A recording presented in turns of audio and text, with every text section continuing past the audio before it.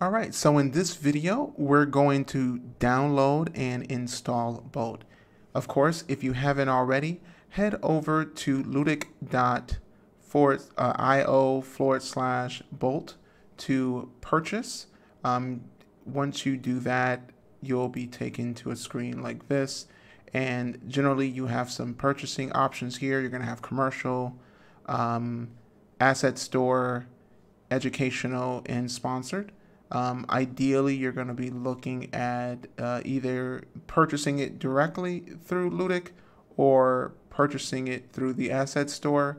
Um, I'm not sure if one is better than the other. I purchased mine directly through the Ludiq store, um, but sometimes maybe getting it through the asset store can be convenient because you can download it directly into your project through the Unity Asset Store.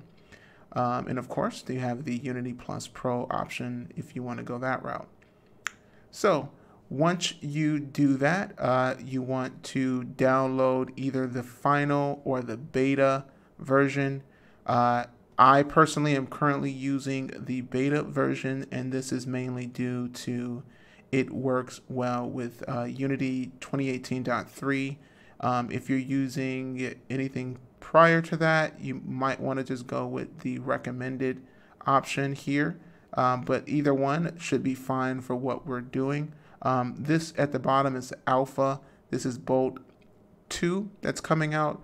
Um, there is no timeline, of course, but eventually it'll be out. Um, and you don't want to use this one unless you just want to play around with some of the new features that are going on in Bolt 2. But we are not going to cover Bolt 2.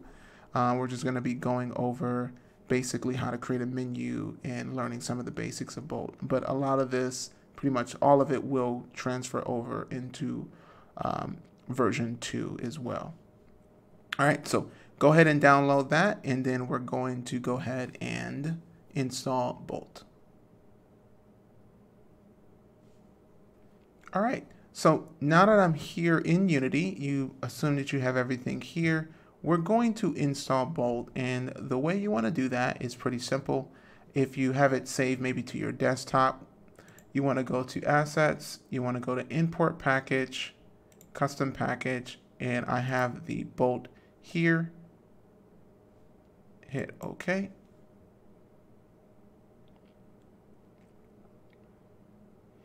And you're going to see all of these items listed here. And of course, you want to hit import. All right, so now that Bolt is installed, what we're going to go ahead and do is go ahead and go to the setup wizard. Go ahead and go to tools, bolt, and then setup wizard and click right here. Now, what's great is that it gives you this little wizard and it's going to basically say welcome to Bolt. So just go ahead and hit the next key. All right. Here is what they call the naming scheme. It basically gives you two different ways to see all the different terminologies built into Bolt when it comes to the nodes and when you're moving and doing transitions and everything. You have the programmer naming where it's like transform.position get versus transform get position. And, you know, I prefer the human naming because that's just how I think. Um, but if you're a programmer and you kind of understand what it is saying, but you just want to see your nodes and see the flow, then this is perfectly fine. But quite honestly, um, eventually, once you've been using Bolt for a while, you'll understand both of these either way. But for now, let's go ahead and click on human naming.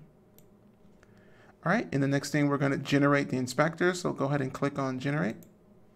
And we're going to slide this down here through all the different assembly options. We're not going to go over any of this. This is all just basic stuff. We're going to just keep this as simple as possible. And we're just going to hit next.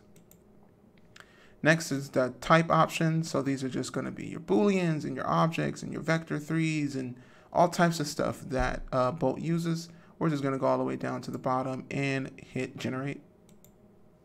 And we're going to let this analyze and, and do its thing in the background. And I will see you on the other side.